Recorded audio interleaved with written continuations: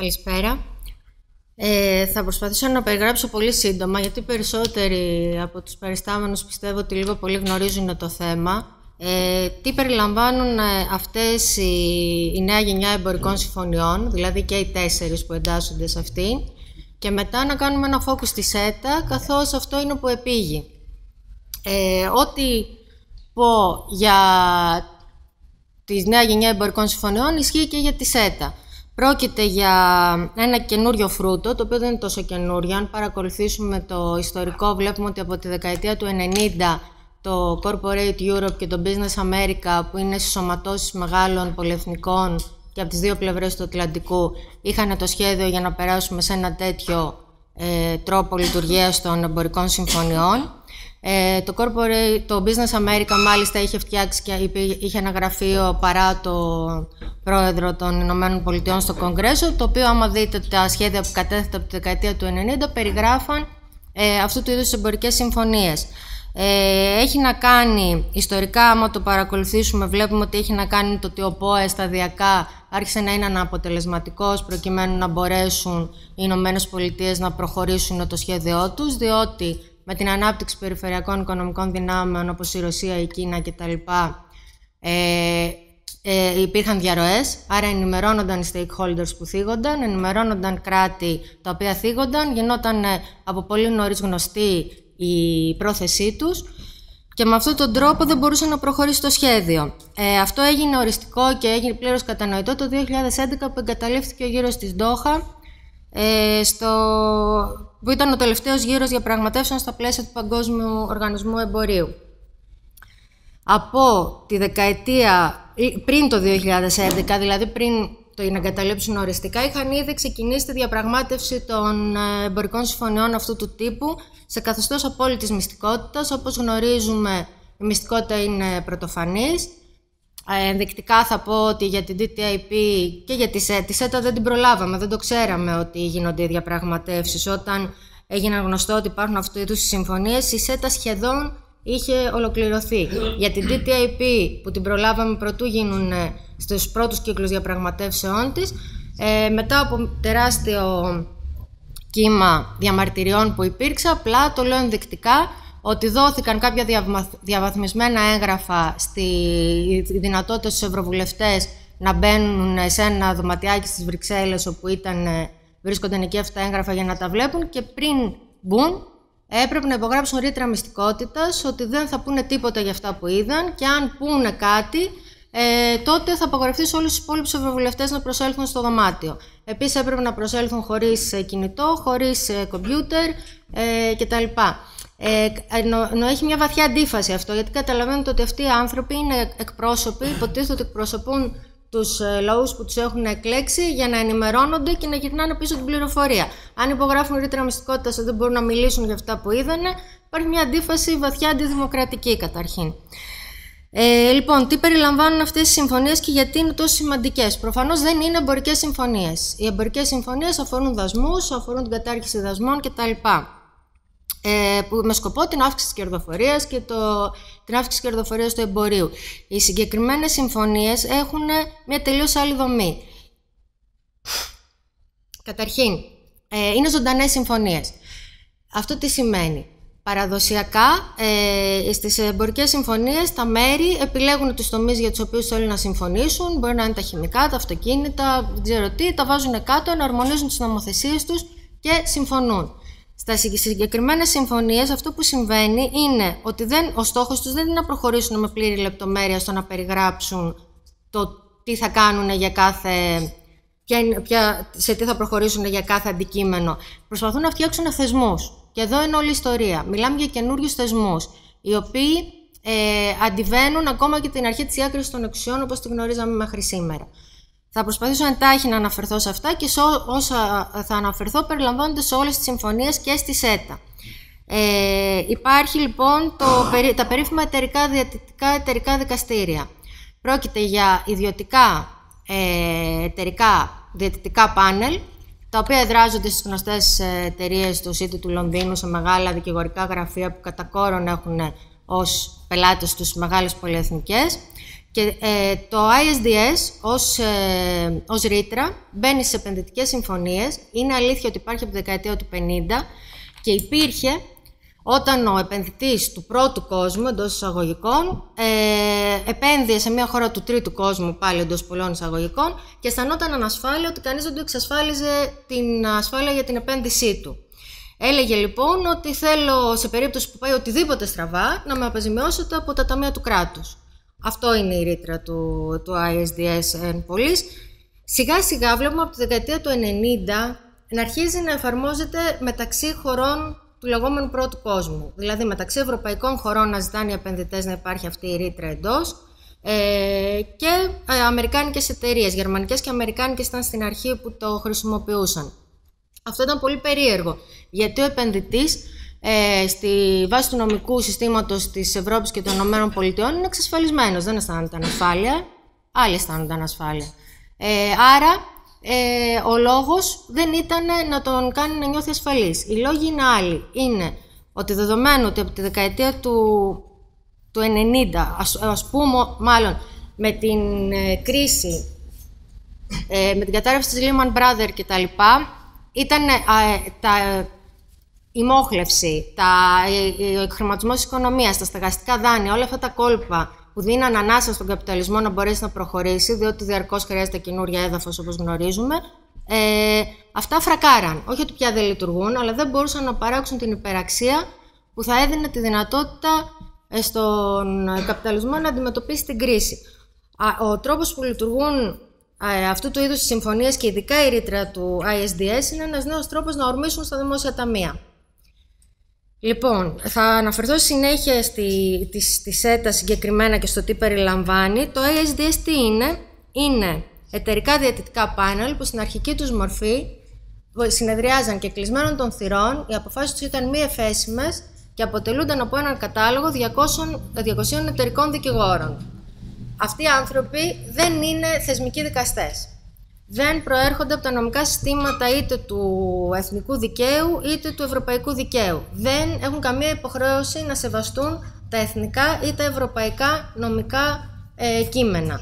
Τα μόνα, κείμενα που, τα μόνα κείμενα που είναι υποχρεωμένοι να ακολουθήσουν θα είναι τα κείμενα των επενδυτικών συμφωνιών.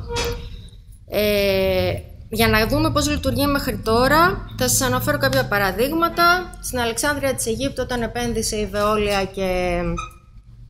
Ε, η Βεόλια είναι εταιρεία που ιδιωτικοποιεί το νερό ε, και στην Θεσσαλονίκη η Σουέζ που ήταν ε, αδελφή της εταιρείας ενδιαφερόταν για το νερό της Θεσσαλονίκης. Όχι ότι έπαψε. Ε, όταν επένδυσε λοιπόν η Βεόλια στο νερό της Θεσσαλονίκης, θέλησε κάποια στιγμή, στο νερό της ε, Αλεξάνδρειας, θέλησε κάποια στιγμή η κυβέρνηση του Καΐρου να αυξήσει το βασικό μισθό. Η Βεόλια είπε ότι εγώ όταν επένδυσα δεν ήταν αυτός ο βασικός μισθός. Άρα αν θέλετε να τον αυξήσετε πρέπει να μου δώσετε αποζημίωση.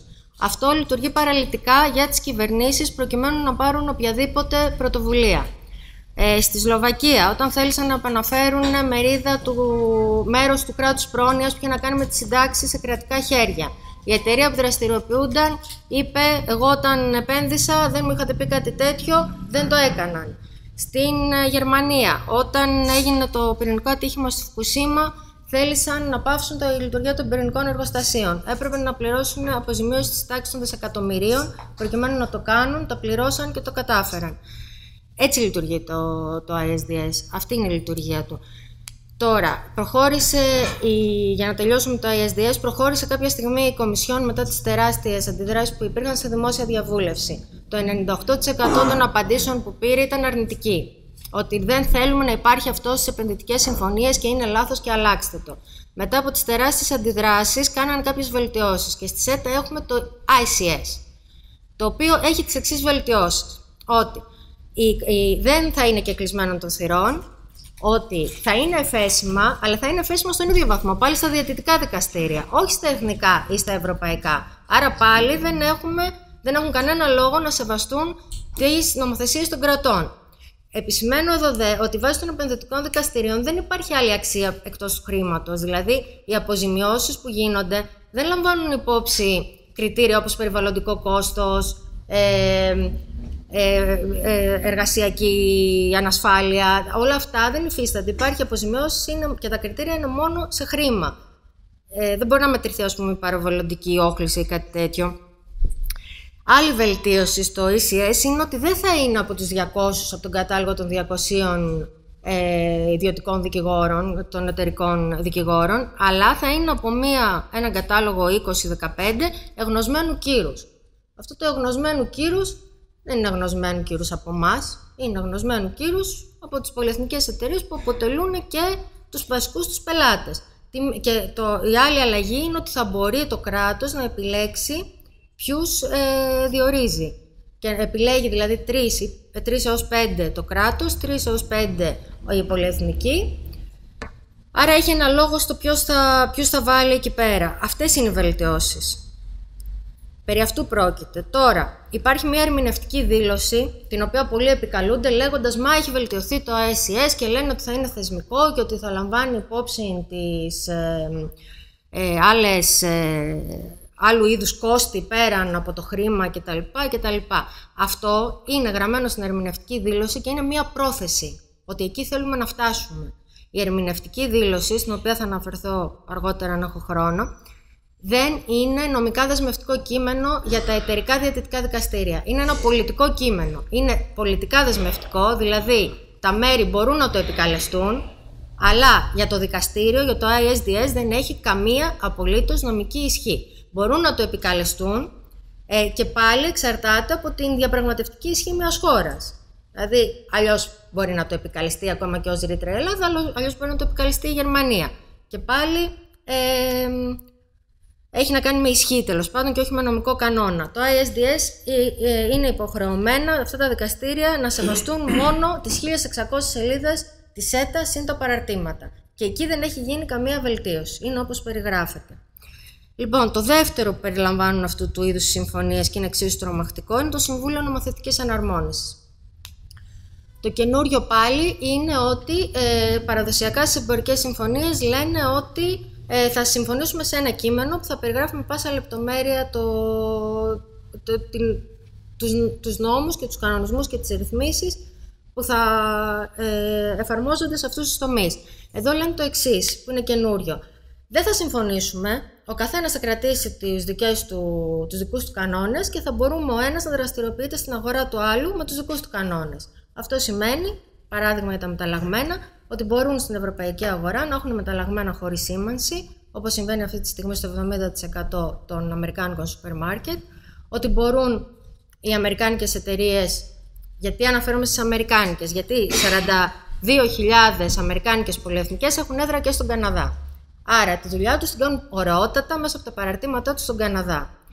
Ε, λοιπόν, ε, και, ο, και ο Καναδάς δεν έχει υπογράψει όλες τις συμφωνίες του ΙΛΟ, του Παγκόσμιου Οργανισμού Εργασίας και βασικά δεν έχει υπογράψει το κομμάτι που έχει να κάνει τον οργανωμένο συνδικαλισμό και τις συλλογικές συμβάσεις. Αυτό σημαίνει ότι είτε καναδικές είτε αμερικάνικες εταιρείες μπορούν να δραστηριοποιούνται στη, στον ευρωπαϊκό χώρο χωρίς να αναγνωρίζουν το δικαίωμα τους συνδικαλίζεστε και των συλλογικών συμβάσεων. Ανεξάρτητα από το ποια είναι η ευρωπαϊκή νομοθεσία. Δύο λεπτά, ε. Λοιπόν, εντάχει, ε, στο Συμβούλιο Νομοθετικής Συνεργασίας συμμετέχουν και το Corporate Europe και το Business America. Είναι η πρώτη φορά που αναγνωρίζουμε σε πολυεθνικές εταιρείες θεσμικό ρόλο και μάλιστα νομοθετικό. Μέχρι τώρα γνωρίζαμε ότι νομοθετικό ρόλο έχουν εκλεγμένοι αντιπρόσωποι. Σε, αυτές τις, σε αυτά τα σώματα θα συμμετέχουν οι σωματώσεις των μεγάλων πολυεθνικών μαζί με Καναδούς από την καναδική κυβέρνηση και κάποιος από την Κομισιόν. Κανένας εκλεγμένος. Όπως γνωρίζουμε, οι επίτροποι είναι διορισμένοι. Αυτοί θα γνωμοδοτούν νομοθετικά και μετά οι εκλεγμένοι αντιπρόσωποι θα πρέπει να συνενέσουν, όχι να συνενέσουν, θα πρέπει να γνωμοδοτήσουν στη βάση αυτού του κειμένου. Δεν είναι απαραίτητο να συμφωνήσουν, αλλά ποτέ μέχρι τώρα δεν είχαμε αναγνωρίσει θεσμικά στα λόμπι ότι έχουν τη δυνατότητα να γνωμοδοτούν νομοθετικά. Λοιπόν, αυτά τα δύο πράγματα είναι βασικά, υπάρχουν και στη ΣΕΤΑ Ειδικά στο Συμβούλιο Νομοθετικής, το Συμβούλιο Νομοθετικής Αναρμόνισης δεν έχει γίνει καμία αλλαγή. Τώρα, προσπαθώ να επικεντρώσω στα επιχειρήματα που ακούγονται. Μας λένε ότι στην ρήτρα προσωρινής εφαρμογής, όπως ξέρουμε, η ΣΕΤ, αν επικυρωθεί από, τα Εθνικά αν επικυρωθεί από το Ευρωκοινοβούλιο, ξεκινάει η προσωρινή του εφαρμογή. Μετά πρέπει να περάσει και από τα Εθνικά Κοινοβούλια για να ε, ξεκινήσει η κανονική της εφαρμογή. Μας λένε ότι στα τρία χρόνια ε, το, το ICS δεν εφαρμόζεται. Αλήθεια. Μας λένε ότι στην, ε, στο Συμβούλιο Νομοθετικής Εναρμόνισης ε, ε, μπορείς να συμμετέχεις εθελοντικά, ότι δεν είναι υποχρεωτικό, να το σέβεσαι. Άμα θες την επένδυση και έχεις στηρίξει την, την παραγωγική σου ανασυγκρότηση, την προσέλκυση επενδύσεων, θα συμμετάσχεις, αλλιώς δεν θα έρθουν οι επενδύσεις. Ε, θα ήθελα να αναφερθώ και στη Βαλονία και, στο, και στα όσα γίνανε στο Ευρωκοινοβούλιο τις τελευταίες μέρες. Αυτό να το πεις, δεν δηλαδή, πάρεις λίγο χρόνο. Ναι. Ωραία. Ε, λοιπόν, έχει ακουστεί μόνο στην Ελλάδα ότι σιγά μωρέ και τι κάνανε οι Βαλόνοι και που στην αρχή αντιδράσανε και μετά πήραν τα ωφέλη μόνο για τους αυτούς τους, για τα αγροτικά και, και συνενέσανε. Αυτό δεν είναι αλήθεια. Η Βαλονία προσέφερε τεράστια υπηρεσία και προσέφερε τεράστια υπηρεσία πρώτον γιατί από πέρσι είναι το πιο συγκροτημένο κείμενο αυτό που έβγαλε η Βουλή της, που πιάνει όλα τα ζητήματα τεκμηριωμένα, δουλέψαν όλες του επιτροπές ε, και καταθέσανε γνωμοδοτήσεις για κάθε θέμα της συμφωνίας χωριστά, είναι το πιο σοβαρό κείμενο που έχει προέλθει από θεσμικό όργανο. Είναι άλλο να, να βγαίνει κάτι από μια μη κυβερνητική, από κάποιο κίνημα, και είναι άλλο να βγαίνει κάποιο από κάποιο θεσμικό όργανο όπως ένα περιφερειακό κοινοβούλιο. Ε, τι κερδίσαν οι Βαλόνοι για όλους μας. Πρώτον, προσέφυγε η κυβέρνηση του Βελγίου ε, για την ε, αντισυνταγματικότητα σχετικά με τη συνταγματικότητα και τη συμβατότητα με τις ευρωπαϊκές συνθήκες του ICS. Ε, μέχρι τώρα παρακαλάγαμε να προσφύγει κάποιος, ε, είναι, ε, νο, ε, είναι νόμιμο να προσφύγουν στο Ευρωπαϊκό Δικαστήριο είτε κάποιος επίτροπος, είτε κάποια κυβέρνηση, είτε το Ευρωκοινοβούλιο. Μέχρι τώρα δεν είχε προσφύγει κανείς. Η κυβέρνηση του, του Βελγίου είναι η πρώτη που το έκανε. Δεύτερον, αυτό που κερδίσαν οι Βαλόνοι είναι ότι μπορούν να εξαιρεθούν αν ένα κοινοβούλιο ψηφίσει ότι δεν θέλει να συνεχίσει να είναι στη ρήτρα προσωρινής εφαρμογής, η κυβέρνηση είναι υποχρεωμένη να ενημερώσει ότι αποσύρεται από τη ρήτρα προσωρινής εφαρμογής. Αυτό πάλι το κερδίσαν οι Βαλόνοι για όλους μας. Ε, είναι πάρα πολλά. Και το κυριότερο που κερδίσαν είναι ότι έμαθε ο κόσμος για τη ΣΕΤΑ. Γιατί μέχρι τότε η προσπάθεια ήταν να περάσει και να μην καταλάβει κανένας τίποτα. Λοιπόν, τις τελευταίες μέρες στο Ευρωκοινοβούλιο, το τι έχει γίνει. Καταρχήν, ε, η προσπάθεια είναι, λόγω και της εκλογής του Τραμπ και αυτά που έχει δηλώσει για την DPP και την DTIP, καταλαβαίνετε ότι η ΣΕΤΑ έχει γίνει κατεπίγουσα. Έχουν πέσει όλοι πάνω και στον Καναδά και, στην, και στο Ευρωπαϊκό Κοινοβούλιο και προσπαθούν να το περάσουν ε, παρακάμπτοντας κάθε νόμιμη διαδικασία που έχει ακολουθεί μέχρι τώρα για τέτοιου είδους συμφωνίες. Παράδειγμα, πρέπει, κανονικά πρέπει να γνωμοδοτήσουν όλες οι επιτροπές του Ευρωπαϊκού Κοινοβουλίου, όπως έχει γίνει και για την TTIP. Ε, έχει, ε, προσπαθούν να το πάνε στην Ολομέλεια του Ευρωκοινοβουλίου έχοντας γνωμοδοτήσει μόνο η INTA. Η INTA είναι η Επιτροπή για το Εμπόριο, η οποία είναι και αυτή που έχει γνωμοδοτήσει θετικά ε, και δεν ζητάνε την γνωμοδότηση από τις άλλες. Άλλες δύο προλάβανε να το επεξεργαστούν, γιατί ας μην ξεχνάμε ότι έχουν το κείμενο από τις 30 Οκτωβρίου. Είναι 1600 σελίδες, συν 38 παραρτήματα, συν την ερμηνευτική δήλωση, συν την ε, πρόταση της Βαλονίας. Όλα αυτά περιμένανε να τα επεξεργαστούν οι επιτροπές μέσα σε ένα μήνα και να γνωμοδοτήσουν. Αδύνατο. Παρ' όλα αυτά, δύο επιτροπές που έχουν να κάνουν με το περιβάλλον, η μία και η άλλη με τα προνοιακά και την υγεία και, τη, και τα λοιπά, γνωμοδότησαν κατά. Αρχικά ο Σούλτς τους απαγόρευσε να δημοσιοποιήσουν την γνωμοδότησή τους. Απαιτούσαν από την ίντα να προχωρήσει στην, ε, στην έγκριση και να πάνε στην Ολομέλεια στις 12 Δεκεμβρίου.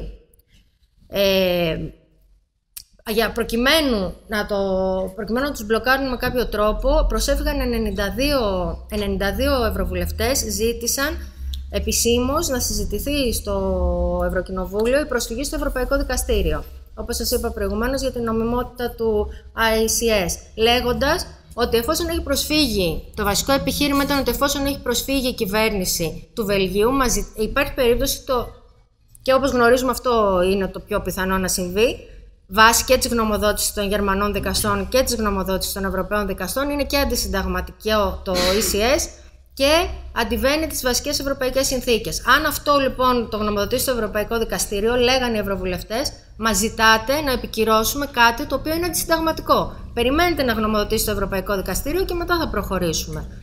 δεν εισακούστηκαν. Προχώρησαν λοιπόν στην κατάθεση αυτής της πρότασης να προχωρήσει το ίδιο το Ευρωκοινοβούλιο σε αυτή την πρόταση στο Ευρωπαϊκό Δικαστήριο. Αυτό απορρίφθηκε για 14 ψήφους.